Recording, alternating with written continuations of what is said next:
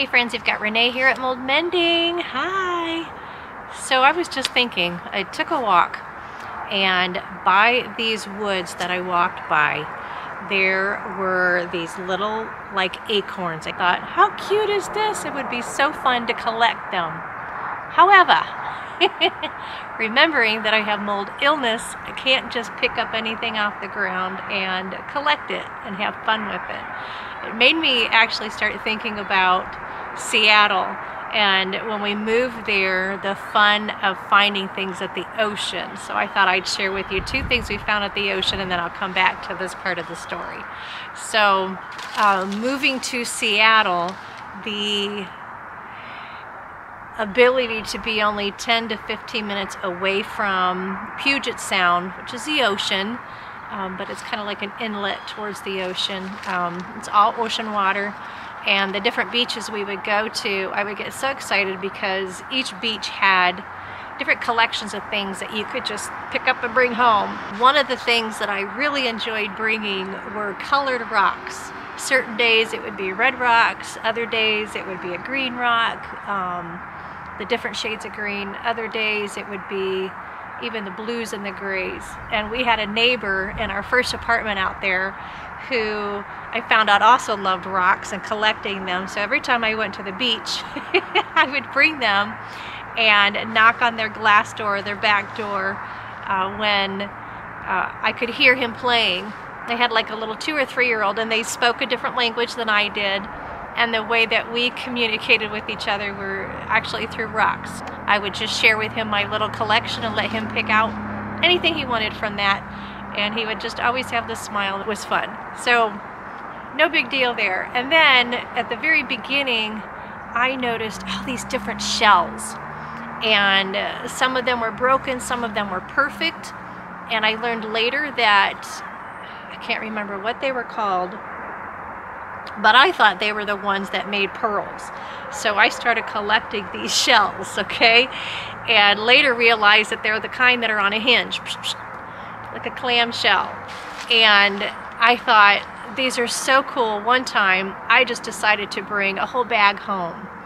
And I thought they were that much cooler that I even put them in a vase because I just thought the the rainbow color on the inside, the pearlesque kind of um, effect that's on the inside of those shells, I just thought they were beautiful and I just wanted to display it. So I put them in this vase, clear vase in my kitchen. After a couple days I started smelling something really weird and just started sniffing around the whole house. Um, just smelling to figure out what in the world does this smell and came up to the vase discovering that some of those shells I had collected still had meat on them. yeah. So these were the ones that were closed and I didn't realize there was actually life inside of them or meat inside of them or any kind of um, a substance, you know, and the ones that were closed were the ones that were reeking the worst because they had holes around the edges and the meat inside of those shells, which I didn't know at the time until somebody told me after I told them the whole story. And those that were closed still had the meat in it that most people would either eat raw or I think they, they would cook it for sure. But I think sometimes people would eat it raw. Ugh, I can't stand that. Anyway, so why am I sharing all this? Well, certain things that we collect are not always good for us, such as those shells. you know, I'm thinking they're beautiful and not thinking that the ones that are closed are would be a problem. But I also wasn't educated at the time. I was just all excited about shells. But for those of us that have mold illness and who also have autoimmune diseases and um, chronic illnesses, we have to be careful of the things that we collect. And going back to the first thing I shared with you, like those little those little acorns, those little chestnuts, if I brought those into the house and that was a thought to bring these home, I could collect a bunch of them, put them in my car, and then later that day when I was done with my where I was at, bring them home. And then I thought, do I want that to be in my car? A wet substance, you know, a nut that has been chewed through from a bug, um, things that have been sitting on the ground with snow, having had mold spores likely on them. Is that something I want to put in my car? And the immediate answer was nope. And then the thought was, even if I bagged them up and brought them home, why would I want to bring that into my house? You know, to do a craft with them and such was the thought. And then I thought, but you don't want to cross contaminate the house, bringing in dirt, bringing in any kind of mold, um, and having to do the work, such as baking them and such, before even being able to do a craft. So I'm like, nope. But the thought was, with those of us with mold illness, we have to watch that as well. What are we collecting? What are we bringing in? What are we letting sit around in our home that's collecting dust? Um, which the dust does feed on, mold feeds on that dust that's being collected. And what are the things that we are collecting that are